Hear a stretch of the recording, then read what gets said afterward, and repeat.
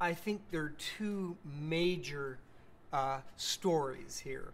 One is when you look up into the night sky, most of the stars you see at night have planets, just like our sun has planets. So planets are common. We didn't know that before, but now we know that planets are very common. The second most important thing is that there are more and more of the smaller and smaller planets. And we didn't know that beforehand. This is marvelous. It could be that our universe had mostly Jupiter sized planets, mostly Saturn sized planets. And here we're lucky to be on the Earth, and our uh, human existence is made possible because there happens to be an Earth here. But if Earth like planets are rare, well, then we humans would be, of course, on one of the rare Earth like planets that can sustain life. But now we know that Earth sized planets are very common. There are more and more of the smaller and smaller ones. This is new information. We never knew this before. Uh, even the ancient Greeks, Aristotle asked, Are Earth like planets common or rare in the uh, universe? And now we have an answer to Aristotle's question. With the announcement that we've just made, uh, we have found hundreds of planets that are nearly the size of the Earth. We're announcing 1,200 new planets, but what's really exciting is that most of them are as small as our own Earth, or nearly as small as the Earth.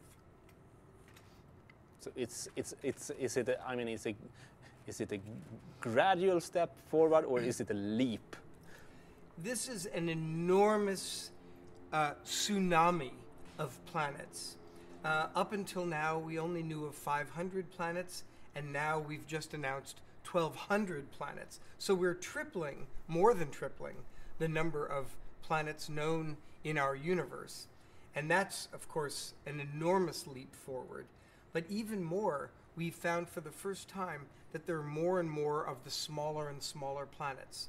There are more Neptune sized planets than Jupiter sized planets, and there's more planets nearly the Earth size compared to Neptune size.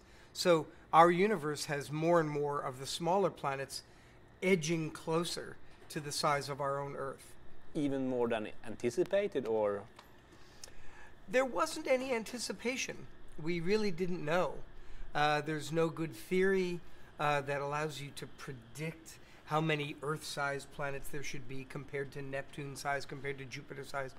we astronomers are just ignorant. We, we really don't know what kinds of planets are out there, how many of different sizes, and we're just learning for the first time.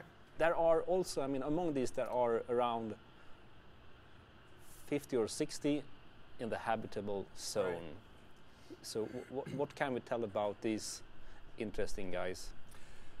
What's very interesting is that some of the planets orbit their star quite close, so close that they receive a lot of light from the star, and the planets are heated up to very high temperatures, uh, blowtorched, if you will. And so those hot planets, even if they had water, would lose their water. It would evaporate away.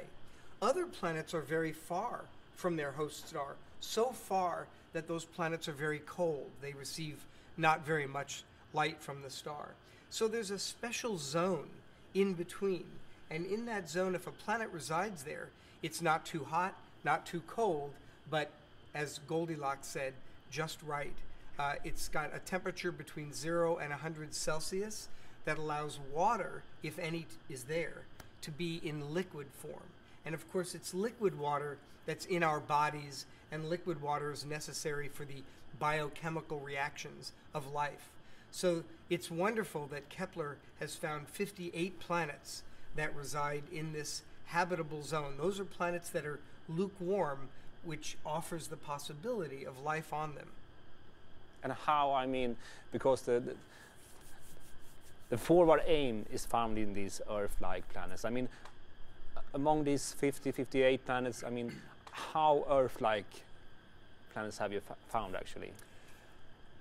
Would say that Kepler, with this fantastic announcement of 1,200 new planets, some of them in the habitable zone, many of them are small, I have to say, I think none of them is definitively a habitable planet. And here's why. Yes, some of the planets are lukewarm between 0 and 100 degrees Celsius. But those planets in the habitable zone, some of them are small, but they're not the same size as the Earth. They're all quite a bit bigger than the Earth 50%, 70% bigger than the Earth. And such a large planet, bigger than the Earth, probably has large amounts of water and gas, hydrogen and helium gas, surrounding a rocky core. And so those planets would not have a hard surface to stand on. There'd be no way for water, even if it is in liquid form, to puddle into lakes and oceans and serve as the, the cocktail mixer for the chemistry of life. So we haven't found any definitive habitable planets yet. So among th these five almost Earth-sized planets, among these 1200, uh, you don't think that they are really habitable in that sense? It's possible that these five planets that are a little bigger than the Earth that reside in the habitable zone, they might be rocky. They might have liquid water somewhere in their atmosphere or maybe even on a surface deep down. Maybe life has a chance, but we can't say for sure. And it's always good in science to make sure we communicate what is the clear truth and what is speculation. And for those five planets, they're very intriguing.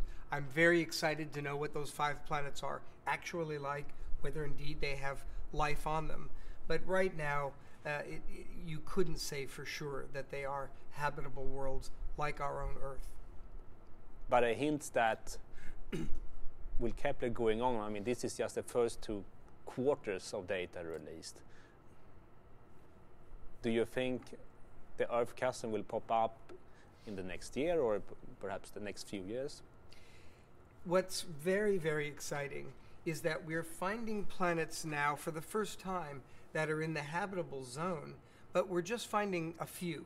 And the reason is that the uh, Kepler data that we're just now releasing uh, is only the first 130 days of those data. And so, what would be really exciting is to wait for another half a year or year when Kepler will have better quality data because the planets continue to go around and around and we get more and more information. And so, there's a good chance that we'll be able to find smaller planets, the size of the Earth, in that habitable zone if we wait for another year or two. And uh, to be honest, I think we will get there. We will find them.